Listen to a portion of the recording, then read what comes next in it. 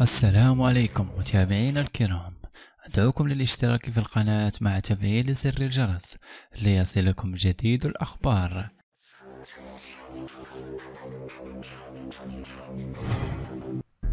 أعلن الاتحاد الإفريقي لكرة القدم قبل قليل من يومه الجمعة عن لائحة المدربين المرشحين لنيل جائزة أفضل بإفريقيا خلال سنة 2018 وذلك عقب الاجتماع الذي عقب صباح اليوم بالعاصمة الغانية أكرا.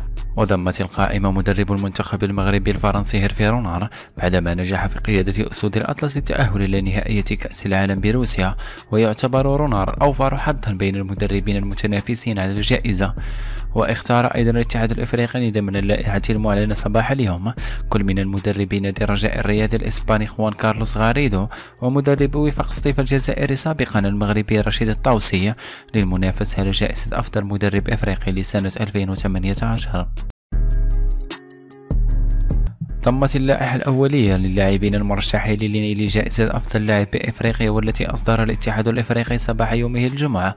خمسة أسماء مغربية ستتنافس مع 34 لاعبا من بين أفضل في القارة السمراء خلال سنة 2018 اللائحة المرشحة لجائزة أفضل لاعب في إفريقيا وعرفت القائمة تواجد عميد المنتخب المغربي المهدي بن عطية ونجم أياكس الهولندي حكيم زياش بالإضافة للمحترف في الدوري الصيني وهداف كأس فريقين المحليين أيوب الكعبي وتواجد ضمن قائمة اللاعبين من البطولة المغربية وهم مهاجم الوداد الرياضي إسماعيل الحداد وهداف كأس الكونفدرالية الإفريقية محمود بن حليب المرشح أيضا لجائزة أفضل لاعب الشاب بالقارة السمراء. نقل اللاعب أسامة الإدريسي بشكل رسمي رغبته لمسؤولي الجامعة الملكية للاشتغال على موضوع تأهيله لدى الفيفا لحمل قميص الأسود مستقبلا وعلى أنه سيواكب الأمر بكل ما يتطلبه منه من إجراءات.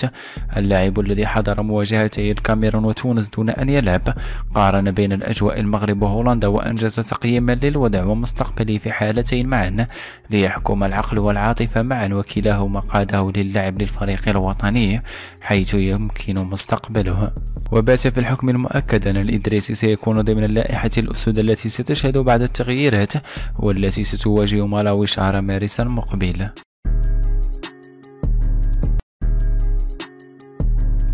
إليكم سؤال اليوم. هل أنت مع تنظيم المغرب لكأس إفريقيا 2019؟ أنتظر آراءكم في التعليقات. إلى عندك شي سؤال بغيتي يكون هو سؤال الفيديو القادم.